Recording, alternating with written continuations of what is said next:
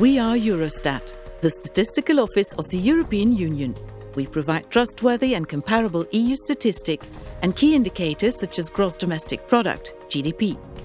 In a globalized world where all markets are linked, knowledge about the state of an economy is vital. The world keeps moving faster, and so does Eurostat.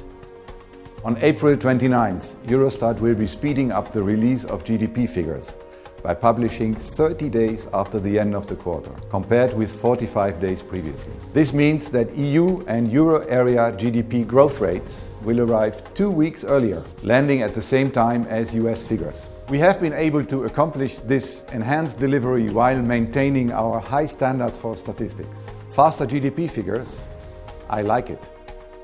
The early availability of first estimates of the euro area and the EU GDP growth is greatly appreciated by the European Commission as it is crucial for policymakers as well as for market analysts, businesses, and in fact for all European citizens. A quicker GDP release will notably allow for better understanding of the economic situation. It will be useful also for our economic forecasts, which are a key instrument in monitoring the effectiveness of European policies and warning of possible risks. Eurostat, we like it.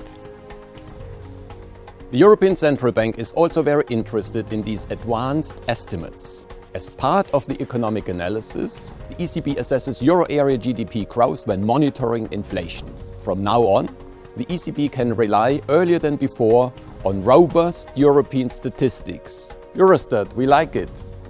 Thanks to the excellent collaboration between Eurostat and the Member States' national statistical institutes, we are proudly announcing the advancement of the delivery time.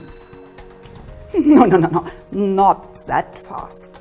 If you want to witness Eurostat's quickest GDP release ever, go to the Eurostat website on April 29th.